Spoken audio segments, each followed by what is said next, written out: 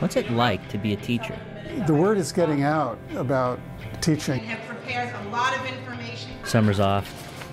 Ability to make a difference. The school has been a revolving door every single year. So why is it after four years, nearly a quarter of all new teachers quit? If you don't want to be here, I'm not one to try to keep you here. Your services will not be required for the 2009-10 school year. What's driving so many new teachers away, and how does it affect our schools? You're talking about people's lives. We spent an entire school year capturing the highs and lows of what it's like to be a brand new teacher. It isn't perceived by the general public as the kind of profession, the honorable profession, the exciting profession that it once was. What would lead a new teacher to throw away the cost and effort of all their years of preparation? Will these teachers make it? I still have hope.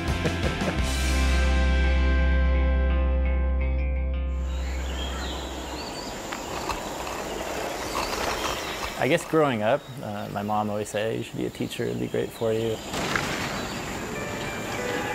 But I was never able to realize that potential. There was always something missing.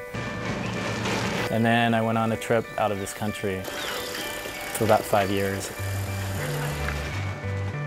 There are a lot of emotions that took place on that trip, and that's when I really decided, after meeting tons and tons of kids and talking about myself and my country and my culture and learning about theirs, I said, you know what, I love that, that look that kids have in their eyes when they learn something new.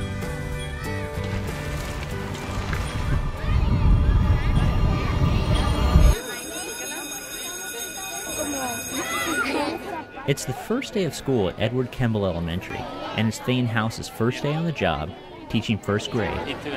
Already, he's got problems.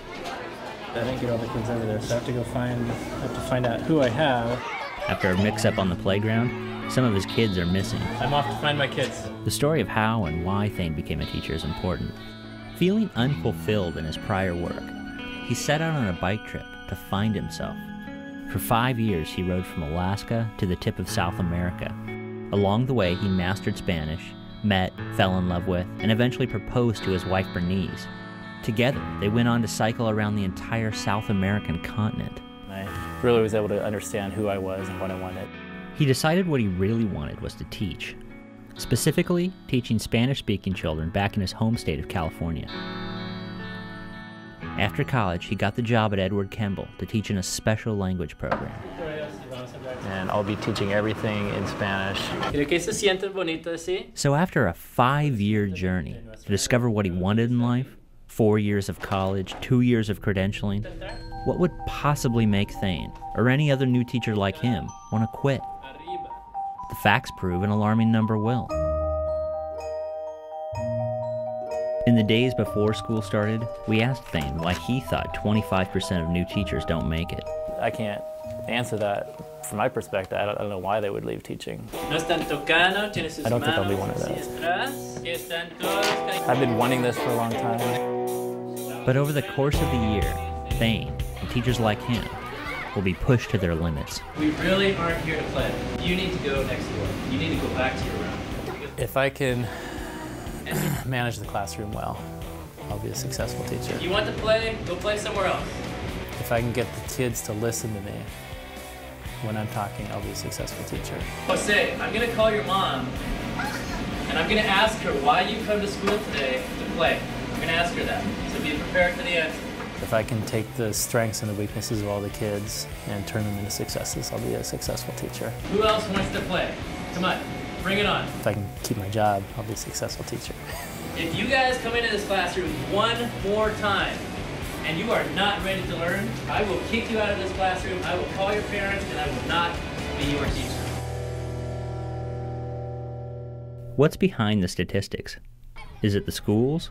The reality of it is, it's a tough school, and some people find out that maybe this isn't the place for me. Is it the educational bureaucracy? What priorities does the state of California have that puts schools last? Is it the workload? We push too hard, and we're going to push a teacher like Thane right out of the profession. A week into the school year, and reality begins to hit, especially the reality of the school itself. It's tough to be at this school. Edward Kemble is located in the heart of a troubled neighborhood, a place where the majority of houses have bars on the windows